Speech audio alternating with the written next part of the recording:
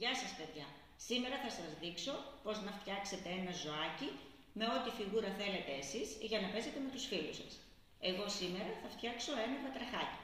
Θα χρησιμοποιήσω ένα ρολό χαρτί, το οποίο μπορώ να το βάψω είτε με τέμπερα, είτε με έναν μαρκαδόρο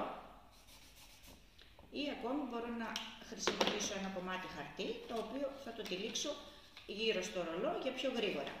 Εγώ έχω βάψει εδώ πέρα ένα ρολό χαρτί, στο οποίο έχω ανοίξει δύο τρύπες ψηλά, μία δεξιά και μία αριστερά. Θα χρειαστούμε τρία καλαμάκια, τα οποία, από τα οποία τα δύο θα τα κόψω στη μέση σχεδόν και βάζουμε ζυλοτέιπ, βάζουμε το μεγάλο το καλαμάκι στη μέση και κολλάμε τα καλαμάκια με ζυλοτέιπ. Και τώρα θα περάσουμε μέσα στο ρολό μας τα καλαμάκια. Περνάμε το ένα, το μικρό το καλαμάκι, το ένα δεξιά, το άλλο αριστερά. Και τώρα θα πρέπει να φτιάξουμε δύο, ε, το κεφαλάκι από το βατραχάκι, εγώ το έχω φτιάξει, και τα δύο χεράκια.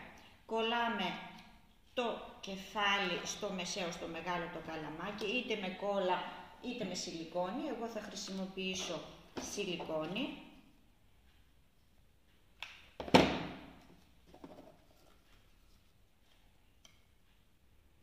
Εδώ.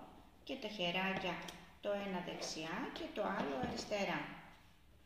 Τα κολλάμε στα δύο μικρότερα καλαμάκια.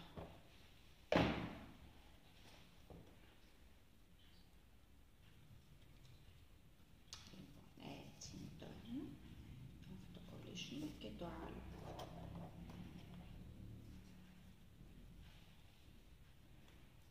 Και είναι έτοιμος ο βάτραχός μας. Γεια σας παιδιά, γεια σας παιδιά. Εσείς φυσικά μπορείτε να κάνετε ό,τι φιγούρα θέλετε. Μπορείτε όποιο ζωάκι σας αρέσει να φτιάξετε το κεφαλάκι του και τα δύο τα χεράκια και να παίζετε με τους φίλους σας.